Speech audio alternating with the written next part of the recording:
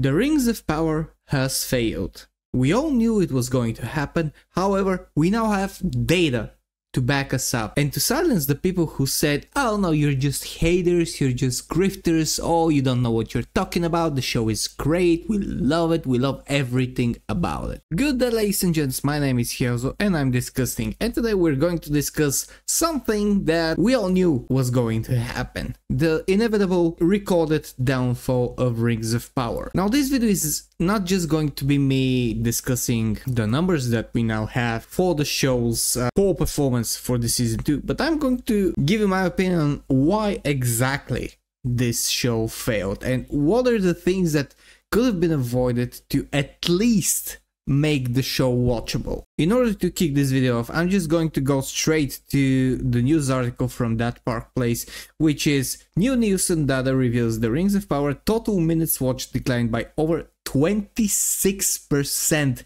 as head of Amazon attempts to spin show as a success.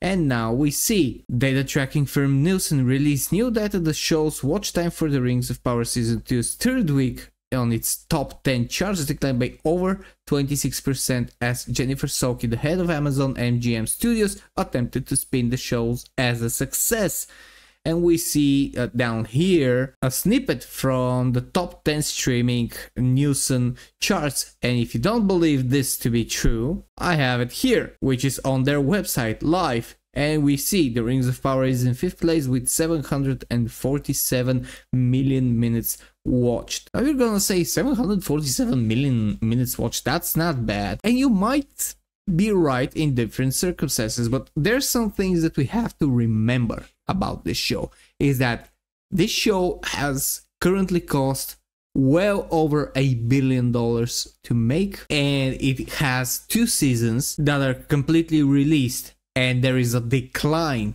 in the minutes watched instead of what was to be expected an increase because when normally a show is good you would expect that the next season will have a general increase in viewership because word of mouth got around reviews were sent out more people got interested in the show and decided to give it a, a go for the second season. But no this is a 26% decline, and while 747 million minutes is not something small as a number, it is a minuscule number for what this show was supposed to make in the minds of its creators. And when you see that snippet, and we see that even Family Guy which is, has been on the air for forever and it's something that people watch in their spare time even that show uh, had more watched minutes, even though it has 433 episodes, it's still something very, very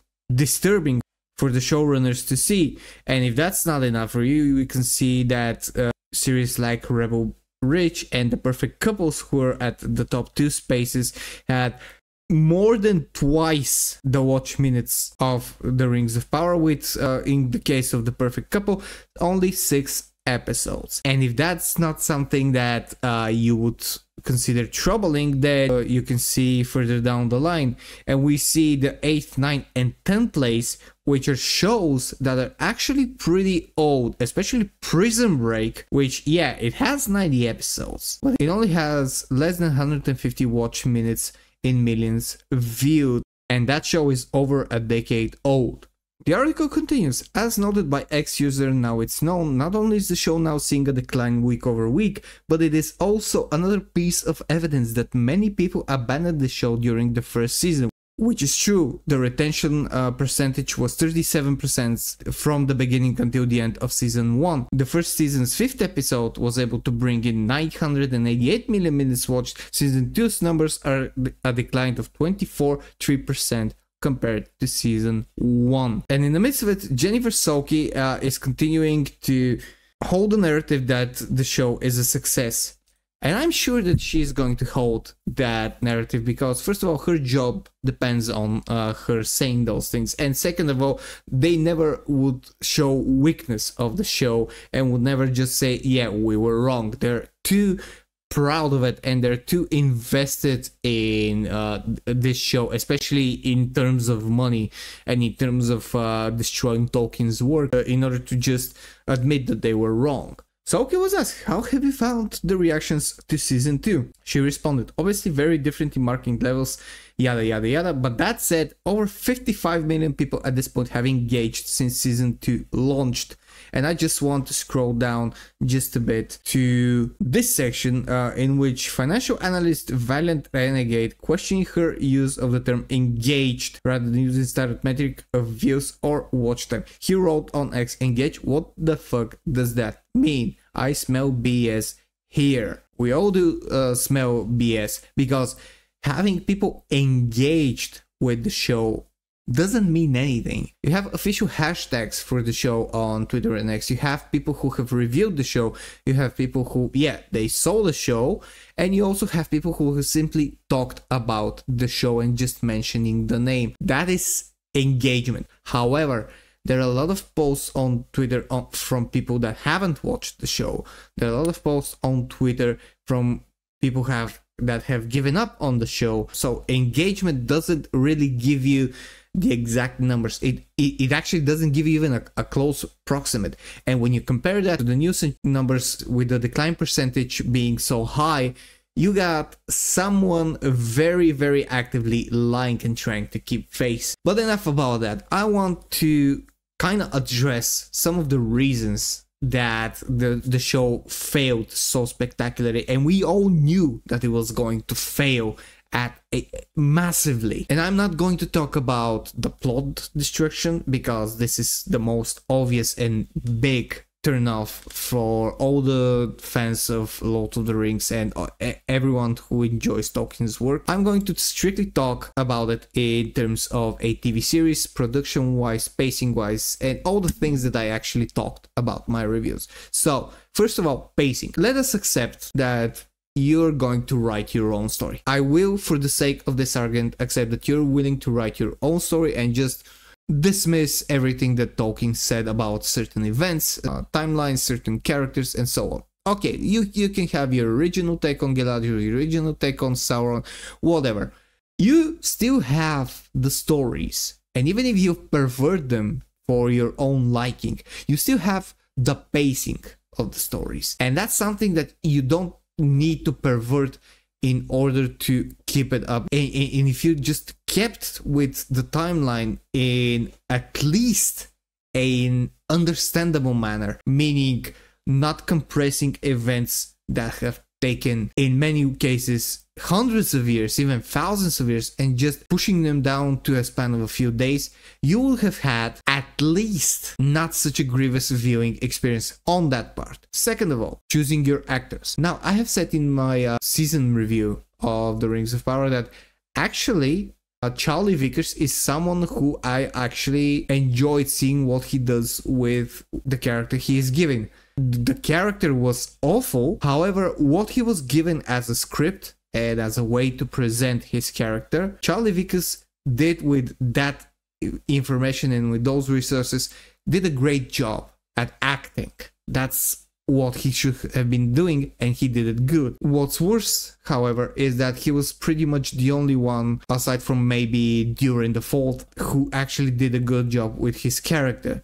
Everyone else was out of place. He didn't even present their parts in a good way. Maybe Celebrimbor's actor touched a bit on that performance, but everyone else was so horribly miscast on every level that is just laughable at this point, especially Galadriel. I have no issues with Morfydd Clark, none whatsoever. She might be an awesome actress, I haven't seen her anywhere and I'm not going to talk about her acting abilities. What I'm going to talk about is her portrayal of Galadriel. I know she was given uh, this warrior type, angry girl boss script. However, you need to have the presence for it, or at least, at the very least, the TV series should have presented to you in a more demanding manner for your role. In every sense of the word, it, it was like seeing a chihuahua barking in that TV series, and that's exactly how it felt too. But the cast itself is not is not even the biggest issue. What the biggest issue in my opinion,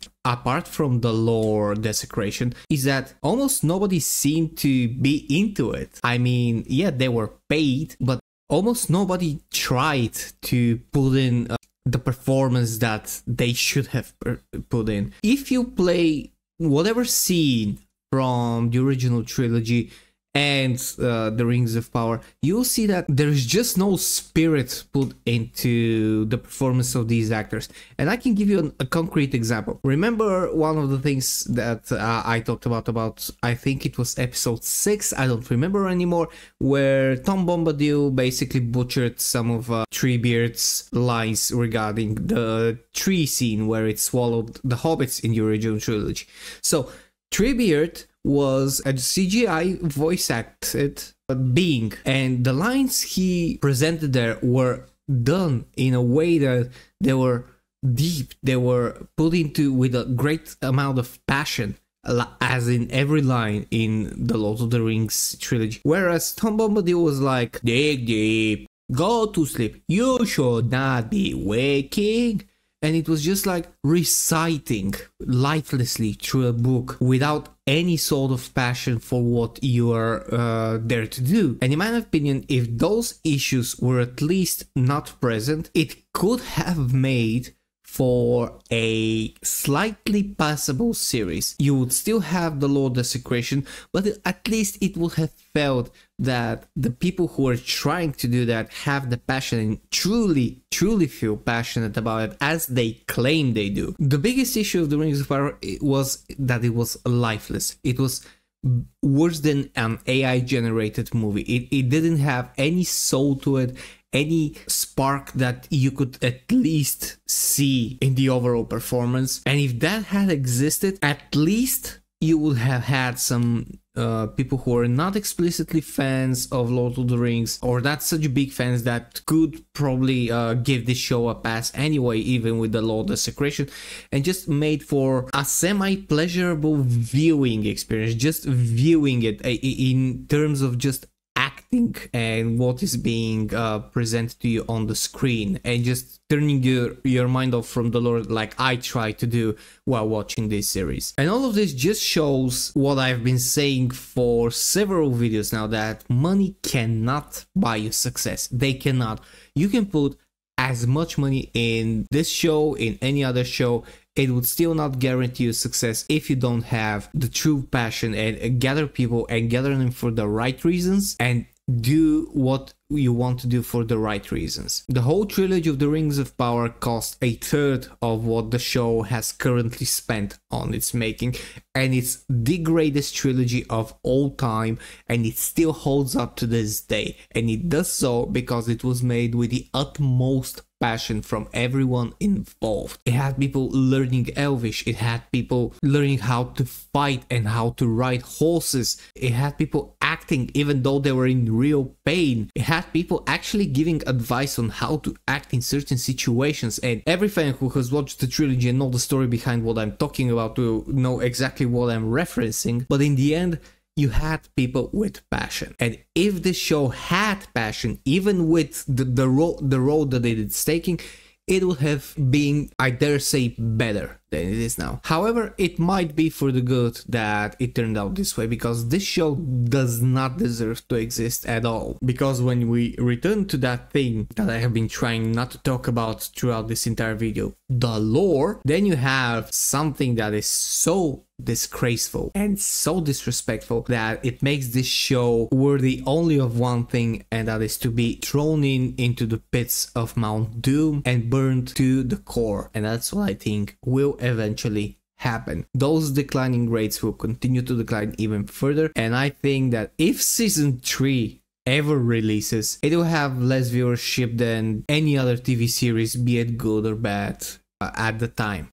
We all just have to wait and see. Anyways, that's all I had for today. Thank you for watching this video. Follow me on my socials. Press the like and subscribe button uh, on my channel to see more of my content. Click the join button and become a DiscussThing enthusiast and support me directly or go to my Patreon page and support my cause for providing for homeless animals and animals in shelters. Thank you, I have been Helzo, this was DiscussThing and I'll see you guys in the next video. Cheers and stay fresh.